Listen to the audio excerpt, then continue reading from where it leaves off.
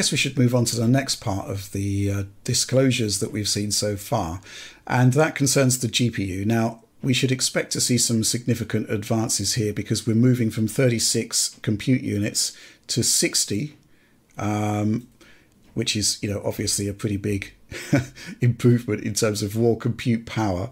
We're also seeing uh, big improvements to memory bandwidth, circa 25%, which I think is excellent. Um, there's also, well, when you look at the teraflop numbers, we need to talk about teraflops really because this is a bit of a bone of contention. Because obviously the PlayStation 5 um, had about 10.23 teraflops, I believe, uh, based on the RDNA2 architecture. Now, Sony is actually disclosing here that there's 33.5 teraflops. Um, with PlayStation 5 Pro, which you know looks amazing, right? It looks like a threefold increase. However, Uh, that's not really the way you can't really expect three times performance. And actually, Sony is saying that we should expect more like 45% of extra performance if you just use existing games, I guess. Alex, do you want to talk about dual issue FP32 because it seems to distort teraflops somewhat significantly. Yeah, we saw this in the PC space between RDNA 2 and RDNA 3, as well as between Turing and Ampere. So Ampere did something interesting where it did con- concurrent int operations as well, and that was an interesting, uh, I don't know, evolution that they they immediately backtracked on uh, with Ampere. Uh, I don't know why, but they did.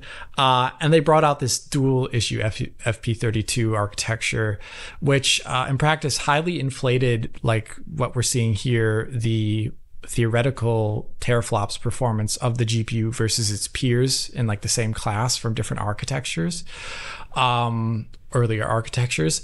But in terms of gameplay performance, it really did not actually, um, I would say, move the needle in a way that was like doubling of some very large portion of the overall frame time of an entire game. Because obviously, this does have an effect but um, there are other so technically things can run two times as fast but an entire frame is made up of so many different processes which are waiting on one another and scheduling and they're reliant on things like how much cache is there is the cache full is the cache been cleared uh, how much bandwidth is there in this very one moment are we moving things from here to there? There's a lot of other things in a gpu other than it's just raw compute performance that um, say actually whether or not it'll perform X amount better than some competing architecture doing some certain task. It's a bit wishy-washy way to say that this actually the you shouldn't really look at the teraflop number here because we've seen this exact same thing coming happening in the PC space over two different architectures, and it led to uh, strange results of scaling where you look at things. I think it's like the 6700 and like the 7700 if I'm not yeah. mistaken, on the RDNA 2 to RDNA 3 side. And they have like wildly different teraflops numbers. But if you look at their performance, you would never think that. Uh, in titles, like being benchmarked across titles. So, um, this is just a nice little bonus that will make certain aspects of the GPU faster. But in terms of the overall frame time, um, there's other aspects to be considered. Yeah, I guess we can also look at ROG Ally as an example yet again yeah. because it too has dual issue FP32. It's like an eight teraflop yeah, machine. yeah, it's like in, on paper it's supposed to be like twice as fast as a PS4 Pro if you if you were to believe those numbers, but obviously or an Xbox Series S. Yeah, for that yeah, matter. that's not realized in practice in the slightest. So. uh, anything to add to that, Oliver, about you know this whole situation with the GPU? I mean, you've. Plus 45% of performance uplift from going from uh, uh, 36 compute units to 60 isn't fantastic, really, but it is kind of believable. It is very plausible. I think that basically you have 60 CUs relative to 36. Yeah. I think that's 67% more CUs. We don't know the clock speed, I don't think. Um, and on the balance side, you get a 28% uplift, I believe, with moving from 14 giga, gigatransfers per second memory to 18. And then when you look at the PS4 Pro, you know, that had, I, I looked up the figures, it had 24% faster memory and then um, about, I think, about 2.3 times faster uh, on the flop number. So, like on paper, this seems less impressive. But if you dive into the other aspects of the spec sheet, it actually does seem like this is uh, more impressive than it initially seems. That 45% figure that's being provided to developers is maybe not indicative of the true power of the system when you think about it holistically. But if you're just yeah. running the same workloads, it's it's uh, it's a pretty meager uplift for a pro console, I would say. Right. Yeah, I mean, people have reversed engineered the teraflops to give us a clock speed number, and that right. clock speed number is 2.18 gigahertz, which is actually slower than PlayStation 5's 2.23. Now, obviously, the boost clock situation and the wattage limit may play a, a part in how much clock speed you're actually getting out of the 5 uh, versus the 5 Pro. Um, but yeah, that's certainly interesting. Um, what else can we say about the GPU? I mean, it's it's obviously a much bigger chip. Um, it's it's weird that it's running at a slightly lower clock. I'm wondering yeah. if there's going to be compatibility reasons, uh, sorry, compatibility issues, or whether it just clocks up back to where it should do and just deactivates CUs uh, when it's in PlayStation 5 back compat mode. That's going to be quite interesting to see. And from there, of course, you know, just basically what's going to happen with backwards compatibility in general. Will it run just like a PlayStation 5 or will there be some kind of optional boost mode similar to the to the 4 Pro there? One thing that I actually think is kind of interesting about the potential of it being a much wider GPU with potentially a lower clock speed than the original PlayStation 5 is that it actually if you go back to uh, Mark Cerny's original presentation on the PlayStation 5, uh, it is almost counterintuitive to the philosophy of that he put forward for the PlayStation 5 GPU of it being narrow and highly clocked. Um, uh, in this case, it would be very wide, but like mediocrely clocked. It's wider, you know, like I think relative to the Xbox Series X, it's like right around there um, and I think this could be precip- it could be two reasons for this. One is this the obvious one in the room. It's the wattage thing again. Like it's just butting in the way and it limits essentially what they can do.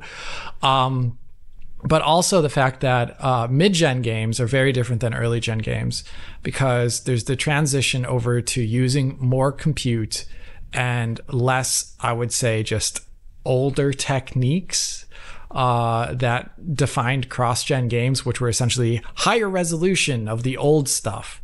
Um, and I think as developers move towards more cross gen titles that are using more things like GI, ray tracing, interesting simulations that require a lot of compute, the Xbox's or even mesh shaders, the Xbox's architecture has proven itself in the last couple titles. I think at least that Oliver's looked at uh, to being a pretty great performer vis-a-vis the PlayStation 5 and maybe this um, the PlayStation 5 Pro is also like the Series X geared towards a later gen um, I don't know, different workload that the GPU has to contend with.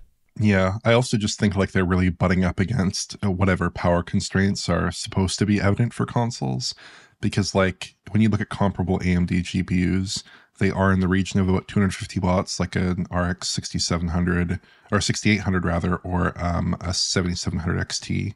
So My I goodness. think I think there is a good chance. I mean, almost an overwhelming chance, especially if this is on six nanometers, this is the most power hungry console ever made. More wattage than a launch PS4 or PS3 rather.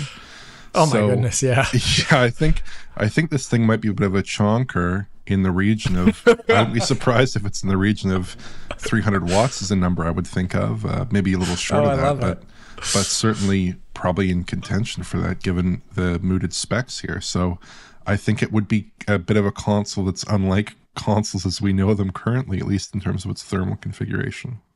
Yeah, that's an interesting point. Again, 4 Pro went from uh, 28 nanometer on the base machine to 16 nanometer on the Pro machine, and then as a bonus, you got a slim machine that you know was was really efficient and quiet. Yeah. Um, now the issue is that it really does look as though we're on a similar process node, and we've already seen the slim console, and, and there it is back there. It's not actually that much slimmer, and it looks as though the power uh, reduction is in the region of 10 to 20% based on uh, some tests that I've seen comparing uh, the five, sorry, the six nanometer chip to the uh, launch seven nanometer.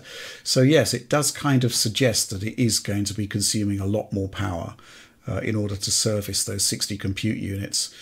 Uh, so yeah, I am going to be interested to see the form factor it's going to be fascinating to see that. That said, I think you know over the generations, you know, because there's been like four different uh, PlayStation 5s at this point, they have successfully reduced the size of the heatsink each time, even before they did the process shrink. So maybe a machine that's more in line with the size of the original PlayStation 5, possibly slightly larger. That's likely the way forward, possibly. Just have to see this thing, really. Um, I think overall, though, I mean, uh, what's happening here is that Sony has kind of um, uh, done the best they could with the existing cost efficient sort of process uh, that's available to them, which is seemingly uh, six nanometer. If it's five nanometer, then things you know become even more interesting at that point, which is like why are we getting these limited clocks? It should be doing a lot better than that. Um, so yeah, interesting stuff. But the other thing, of course, is that um, 4 Pro was essentially like a um, the GPU is essentially a butterfly image of the original GPU. It Yeah. basically doubled the amount of compute units. We're not doubling the CUs at this point, and that's likely because we don't have that meaningful process shrink. And on top of that, um, you know, the cost per transistor is such that you know it would be a very machine, a very expensive machine to produce if they did do that. So yeah, that's probably why we're seeing a more how can I say it Nvidia like approach, which is to say that hey, we can't just throw transistors at the problem anymore to get more performance. We actually need to have uh, better solutions here.